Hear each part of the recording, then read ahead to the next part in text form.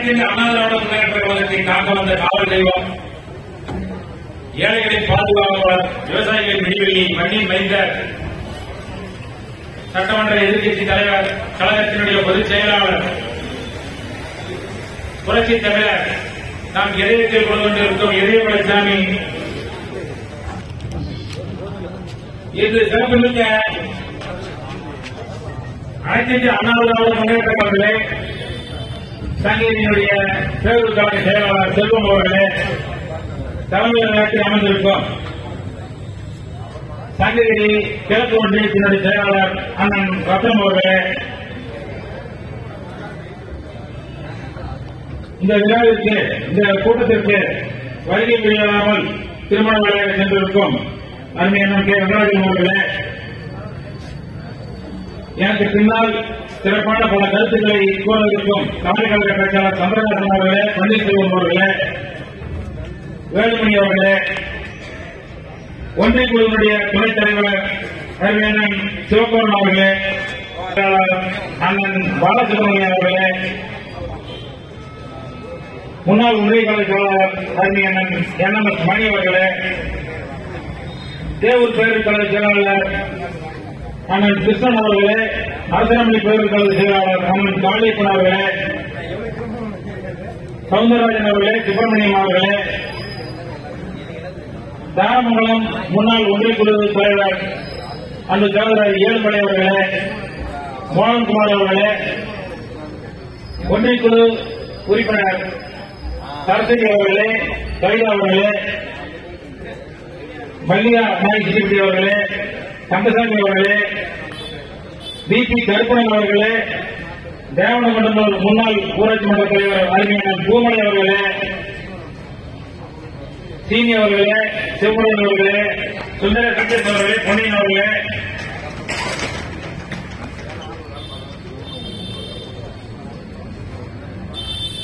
வழுப்பட்டி தலைவர் முத்துசாமி அவர்களே தங்கேரி பேரூர் வாழ்க்கை செயலாளர் சாதிப்பாட்டி அவர்களே கரவன் அவர்களே கவிதா சங்கர் அவர்களே சதீஷ்குமார் அவர்களே துரைராஜ் அவர்களே முருகன் அவர்களே கருமாயம் அவர்களே மாதேசம் அவர்களே இளமுருகன் அவர்களே முருகன் அவர்களே எஸ் பி முருகன் அவர்களே மாரியம்மன் அவர்களே குருசாமி அவர்களே ராஜகன் அவர்களே கங்கராஜ் அவர்களே சத்தியவர் ராஜா அவர்களே மாதவ அவர்களே குமார் அவர்களே பழனிசாமி அவர்களே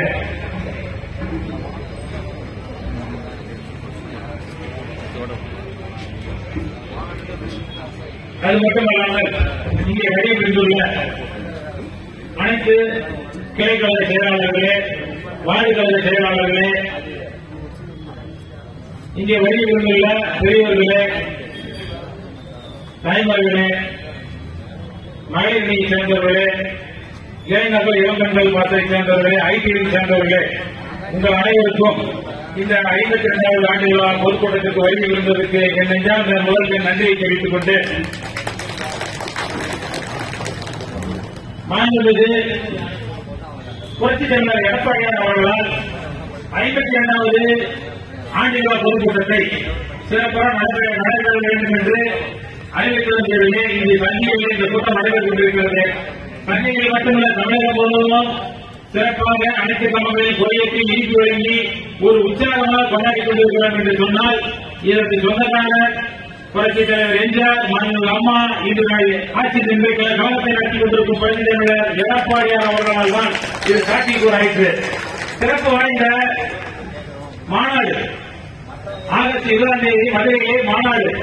யாரும் எதிர்பார்த்திராத சுமார் இருபது இருபத்தி லட்சம் பேர் அங்கே கலந்து கொண்டு ஒரு சிறப்பான ஒரு மாநாட்டு மாநாட்டை நடத்தி காட்டிய பெருமை சேலம் மாவட்டத்தை சேர்ந்த மண்ணில் மேய்ந்த புரட்சி தலைவர் எடப்பாடி அவர்களை சாரும் அவருடைய சாதனை என்று சொன்னால் மாண்புமிகு எம்ஜிஆர் காலத்திலும் சரி அம்மா காலத்திலும் சரி இருவரும் தெய்வங்களுடைய ஆட்சி காலத்திலே பல சாதனைகளை சரித்திரம் புகழ் வாய்ந்த சாதனைகளை தடுத்தார்கள் அதற்கு பின்னால் கழகத்தை ஆள வந்த நாம் எல்லாம் காக்க வந்த காவல் தெய்வமான நம்முடைய எடப்பாடியார் அவர்களுடைய ஆட்சி காலத்திலே ஐம்பது மாத காலத்தினுடைய ஆட்சி என்பது ஐம்பது வருடங்களுக்கு கடக்கக்கூடிய சாதனைகளை செய்திருக்கிறார். அதில் ஒன்று ரெண்டு மட்டும் நான் சொல்லப் போகிறேன் என்று சொன்னால் கால நேரங்களில் சிறப்பு வாய்ந்த நூறேழு திட்டம்.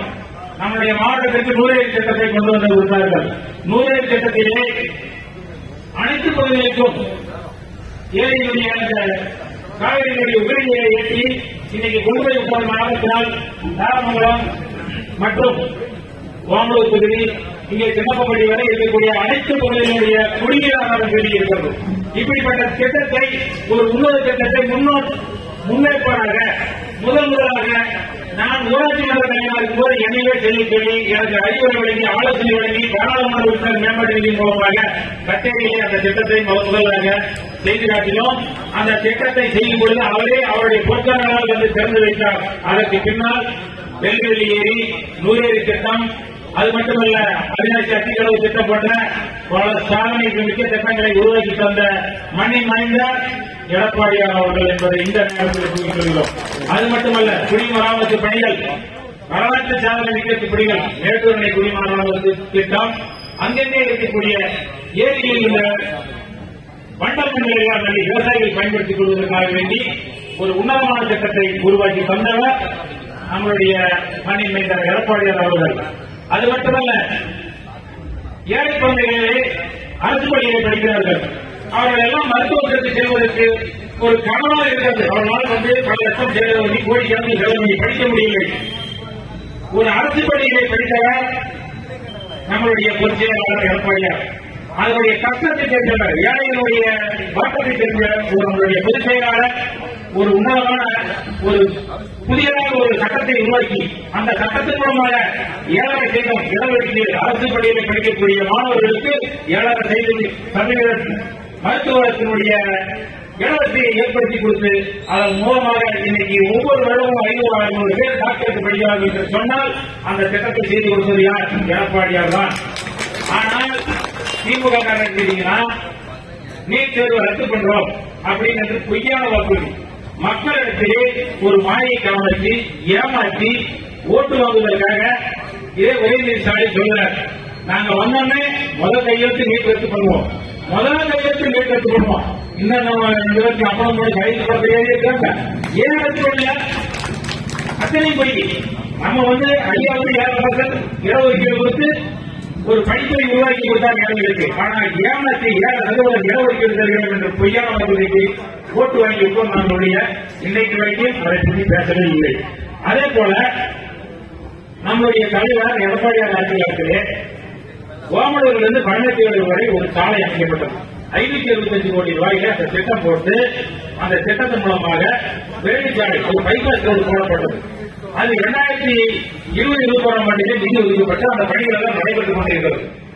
அந்த திட்டத்தின் மூலமாக நீங்க பார்த்தீங்கன்னா நம்ம அரசு பாலத்துக்கு போக வேண்டியது இல்லை. அந்த வேலை முடிஞ்சிச்சுன்னு சொன்னா அந்த பக்கம் ஈஸியா பாலத்தில் போய்க்கலாம் இது ஆரம்பிச்சு செயல்பாட்டுக்கு கொண்டு வந்தது எடப்பாடியார். ஆனா இந்த வருஷம் இப்ப சட்டமன்றம் ஒரு மூணு நாள் நடந்தது போன ஒன்பதாம் தேதி வந்து அங்க போய் பார்த்தா ஒவ்வொரு சட்டமன்ற உறுப்பினருக்கும் ஒவ்வொரு பணிகள் நாங்க ஒதுக்கி இருக்கோம் உங்கள் தொகுதியில் முதலமைச்சர் திட்டத்தின் மூலமாக அப்படின்னாங்க. சரி என்ன நம்ம சங்கீத தேவிக்கு ஒதுக்கி இருக்காங்க அப்படின்னு கம்ப்யூட்டர் ஓபன் பண்ணி பார்த்தா ஏழு ஐம்பத்தொரு கோடி தான் ஒதுக்கு மாதிரி போட்டுருக்கு.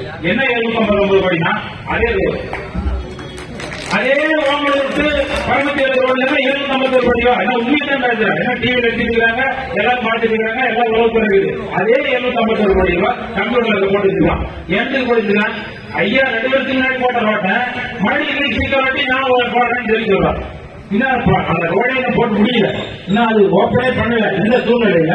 மறுபடியும் அதே ரோட்டுக்கு சீக்கிரம் விடுறான் முதல்ல பொருளுக்கு சீக்கிரம் விட்டா இப்ப ரோட்டுக்கு சீக்கிரம் விட்டுறான் இதுதான் நடந்துட்டு இருக்குது. அதே போல அன்னைக்கு காலகட்டத்தில் நம்ம எடப்பாடி ஆட்சி காலத்திலே ஏழைகளுடைய மருத்துவ வசதிக்காக வேண்டி அம்மா மணிக்கு கிளினிக் கொண்டாந்தாங்க. கிராமப்புறத்தில் இருக்கக்கூடிய ஏழைகள் எல்லாம் இங்க வெள்ளாட வயசுல ஆரம்பிச்சோம் ஏமனூர்ல ஆரம்பிச்சோம் கட்டையில் ஆரம்பிச்சோம் எத்தனையோ மினி கிளினிக் ஆரம்பித்தது. இரண்டாயிரம் மினி கிளினிக் ஆரம்பித்து வந்தார்கள் அனைத்தும் மூடிவிட்டார்கள் இந்த ஆட்சியிலே. ஒரு இடத்துல கூட மினி கிளினிக்கே கிடையாது. ஆனா அதே போல அம்மா அரசிலும் நம் எடப்பாடி அரசிலும் நகைக்கடன் சொன்னது சொன்ன மாதிரி தள்ளுபடி பண்ணி கொடுத்தாங்க. ஆனா இவங்க வந்து சொன்னாங்க நகைக்கடன் வைங்க யாராவது வைக்காது இருந்தா எல்லாம் நகை வைங்க.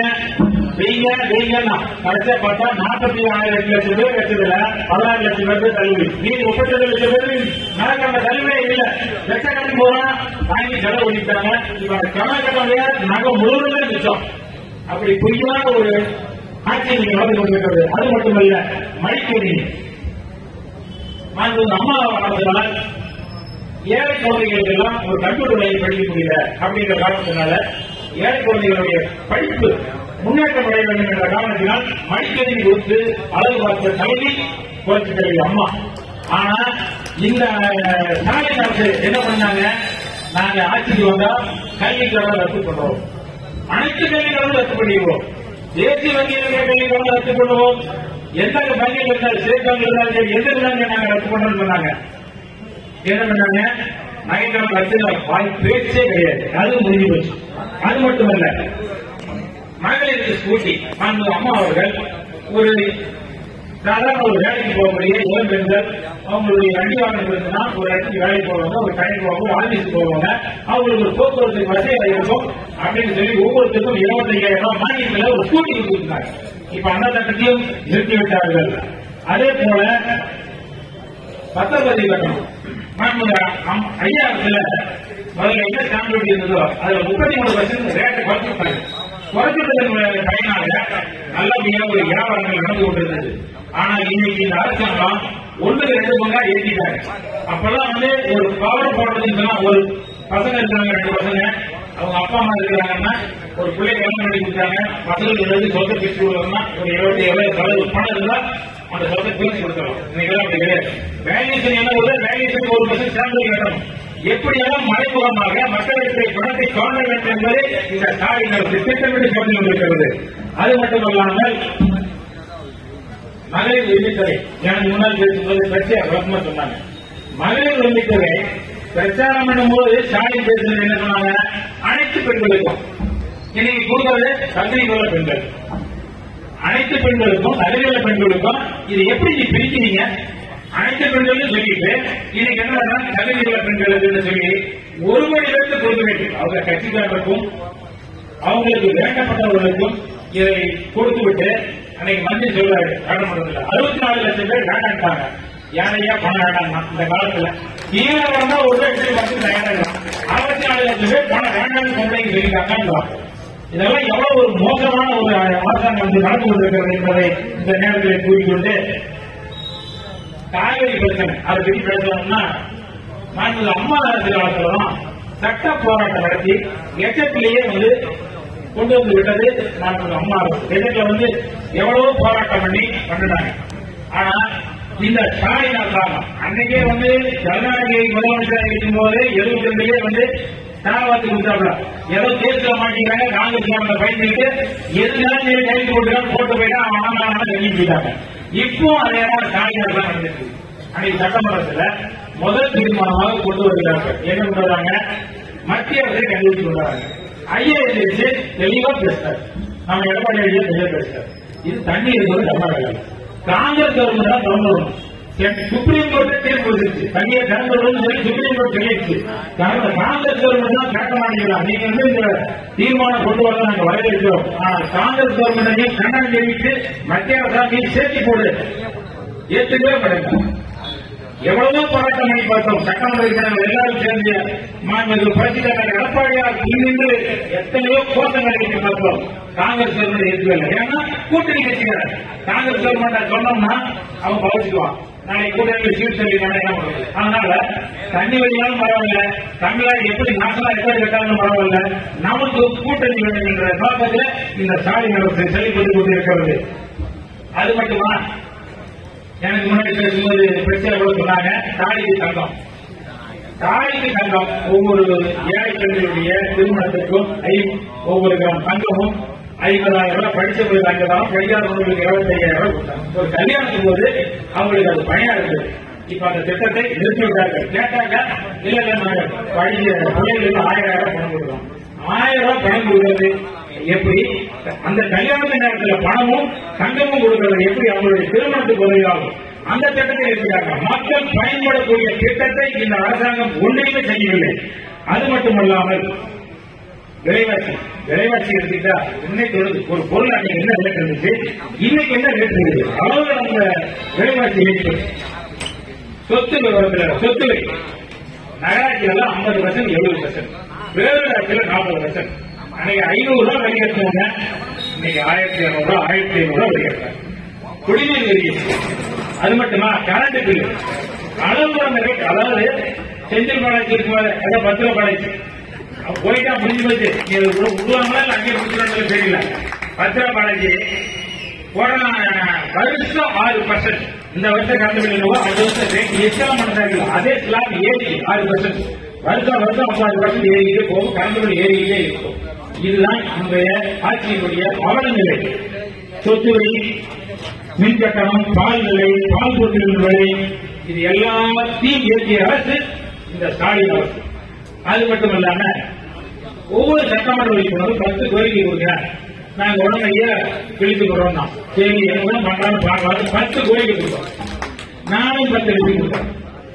ஒண்ணு அந்த ரெண்டு கோரிக்கை நிறைவேறிச்சுன்னா ஒண்ணு வந்து சாதாரண கோரிக்கை ஐநூறு அந்த பள்ளி பள்ளியோட அடியில் பாடம் கொடுக்கிறோம் அது வந்து ஆக்சுவலா பேசி ஐநூறு பேசி வைக்கணும் போடுற மாதிரி இருந்தது இருந்தாலும் அந்த பகுதி மக்கள் ஐயா போய் கோரிக்கை வச்சிருந்தார்கள் ஐயாவே கூப்பிட்டு அப்ப பத்து கோரிக்கை அதை கொடுத்துருப்பாங்க. ஐயா சொன்னதுனால அதை எடுத்து கொடுத்தோம். அதை பண்ணி கொடுத்துருக்காங்க சின்ன கம்மலோட ஒரு பாலம்.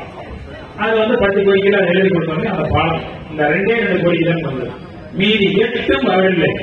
முதல் கோரிக்கையாக நான் வைத்தது வரலாற்று சேர்ந்த இந்த சங்ககிரினாரே சங்ககிரியுடைய சிறப்பு தீரன் சின்னமலை மலைக்கோட்டை மலைக்கோட்டைக்கு ஒரு ரோப்பை வசதி ஒரு சுதந்திர போராட்ட தியாகி இருந்த இடத்துக்கு எங்கெங்கே பிரச்சனையை சொல்வதற்கு ஒரு ரோப்போட வசதி ஏற்படுத்தாங்க அதுவும் பண்ணல. அது மட்டும் இல்ல எனது சாலை ஒரு ஜவுளி பூங்கா செய்யவே இல்லை.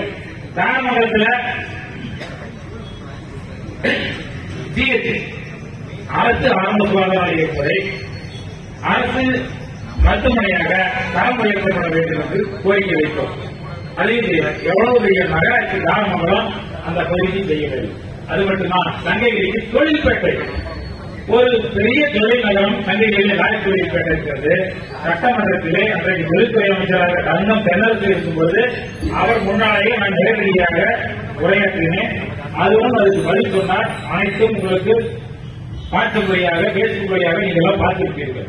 நான் கேட்டது கேட்டதான விசாரணை அமைக்கப்பட்டது போல ஒரு தொழிற்பேட்டை அமைத்து கொடுக்க வேண்டும் கோரிக்கை வைத்து அந்த கோரிக்கையை செய்யவில்லை அது மட்டுமல்லாமல் விட்டு போன கேள்விகள் எல்லாம் கைவிட்டு போட வேண்டும். அதுவும் செய்யவில்லை காவிரி ஆற்றில் ஒரு பாவம். அது கொடுத்த பத்து கோரிக்கையில ரெண்டே ரெண்டு கோரிக்கை மட்டும்தான். அது ஒண்ணு சென்ட்ரல் கவர்மெண்ட் செய்யலாம் கண்டிப்பா அது ஐநூறு சென்ட்ரல் கவர்மெண்ட் ஸ்டேட் கவர்மெண்ட் ஒரு திட்டத்தை கூட செய்ய கிடையாது. இதுதான் இப்படிப்பட்ட இந்த ஒரு அரசுடைய அவல நிலை என்பதை இந்த நேரத்தில் கூறிக்கொண்டு எனக்கு பின்னால் இரண்டு பேச்சாளர்கள் பேச வேண்டி இருக்கிறது அதனால் நான் என்னுடைய பேச்சை ஒரு சுருக்கமாக ஒரு ரெண்டு கருத்துக்களை கூறி தேர்தல் வரும்பொழுது ஐநூத்தி பதினஞ்சு தேர்தல் அறிக்கை வைத்திருக்கார்கள் பொய்யான தேர்தல் அறிக்கை இப்ப என்ன சொல்றாங்க தொண்ணூறு பர்சன்ட் தேர்தல் அறிக்கை நான் நிறைவேற்றி விடுறாங்க தொண்ணூறு பர்சன்ட் அவங்களுடைய கட்டணம் நடத்திட்டாங்க ரெண்டரை வருஷத்துல அவங்க மந்திரி அவங்களுடைய கட்டணம் தான் நம்பிக்கையுடைய சிறப்பு அறிக்கை நடைபெறவில்லை. அது மட்டும் இல்ல ஒரு மந்திரியே பேசிட்டு சாப்பிடத்துல அதெல்லாம் பேசிக்கொண்டு பல்கலைக்கழகம் அப்பதான் அவர் மினிஸ்டர் அமைச்சர் சட்டமன்றத்துல யாரு பேசினாலும் சரி உடனே இங்கிலீஷ்ல இப்படி கையை வைக்கிறார் இந்த கையில ஒரு தெரியாம இந்த கையில ஒரு தெரியாம எந்த கையில மணி வர்றாருன்னு தெரியாது. அவரு பேசுனது எல்லாத்துக்கும் வந்துச்சு. முப்பதாயிரம் கோடி கூட அப்புறம் மூணு எடுத்து வச்சு என்ன பண்ண சுத்தி போயிட்டாங்க முப்பதாயிரம் கோடி ஒரு கோடி எடுத்து கோடி இது சொன்னது தமிழ்நாட்டினுடைய நிதியமைச்சர் முன்னாள் நிதியமைச்சர் சொன்னது. அனைத்து ஊடகங்களிலும் வந்தது. முப்பதாயிரம் கோடி ரூபாய் வெளியே வச்சுக்கிட்டு என்ன பண்ண தெரியாது ஆனா அந்த வெளியிட்டாலும் இவங்களுக்கு பிரச்சனை. ஆணை வெளியிட இலாக்கால ஐடியூல போட்டு புகார் வச்சிருக்காரு. இந்த மாதிரியான ஒரு மோசமான ஆட்சி. ரெண்டாவது வருஷத்துல முப்பதாயிரம் கோடி கொள்ளையடிச்சு வச்சுக்கொண்டு நாட்டு மக்களுடைய பணத்தை வரி வசூலை இது எல்லாம் ஒரு கொடிய அரசு நடந்து கொண்டிருக்கிறது இன்றைக்கு தமிழ்நாட்டிலே என்பதை இந்த நேரத்தில் கூறிக்கொண்டு அதே போல உதயநிதி ஒரு பேட்டி கொடுத்துட்டு என்ன சொல்றாரு? நான் வந்து மந்திரியா சொல்லல. நான் சாதாரண ஒரு குடிமகனா சொன்னேன். நீ பேசுறது மந்திரியா பேசுறியா? இல்ல சாதாரண குடிமகனா பேசுறான்னா எதிர்காலத்தில் பேசுறாங்க பார்த்துட்டு இருப்பாங்க. இன்னைக்கு மாற்றி பேசுற இப்படி ஒரு மோசமான ஒரு ஆட்சி இங்கு நடந்து கொண்டிருக்கிறது. இதற்கெல்லாம் ஒரு விரிவுகாலம் வர வேண்டும் என்றால் வருகிற நாடாளுமன்ற தேர்தலிலே நாமக்கல் நாடாளுமன்ற தேர்தலிலே சங்ககிரி தொகுதிதான் இன்றைக்கும் இருபதாயிரம் வாக்குகள் முன்னணியில் நாம் ஈட்டியோம் ஆனால் வருங்காலத்தில் வரக்கூடிய மாண்புமிகு எடப்பாடியார் அறிவிக்கப்படக்கூடிய கழக வேட்பாளர் யார் எந்த பகுதியில் இருந்து வேட்பாளர் வருகை புரிந்தாலும் நம்முடைய எடப்பாடியாக வேட்பாளர்கள் நிற்பதை போல் நாம் விரும்பி ஒவ்வொருவரும் அயராது உழைத்து நம்மளுடைய வாக்குகளை பெற்று இந்த தொகுதிக்கு நாம் தண்ணியிலே குறைந்தபட்சம் ஐம்பதாயிரம் வாக்குகள் முன்னணி பெற்றுக் கொண்டு போய் அவரிடம் சேர்த்தால்தான் நாம் மண்ணின் மைந்தர் நம்மளுடைய எடப்பாடியார் அவர்களுக்கு செய்த ஒரு சேவையாக நினைக்கும் என்று கூறி எனக்கு பின்னாடியும் பல பேர் பேச இருந்து வேட்பாளர்கள் பேச வேண்டியிருக்கிற காரணத்தினால் நான் சுருக்கமாக என்னுடைய உரையை முடித்துக் கொள்கிறேன் இங்கே வருகின்ற அனைவருக்கும் மீண்டும் மீண்டும் ஒரு சிலருடைய பேர் விட்டிருந்தாலும் அவர்களை என்னை மன்னித்திருந்து இங்கே வருகின்ற எல்லோருடைய நேரத்தையும் பொருட்படுத்தாமல் இங்கே வந்து உங்களுடைய அனைவருடைய பொருளாதாரத்திற்கு வழங்கி வெளிப்படுகிறேன் நன்றி வணக்கம்.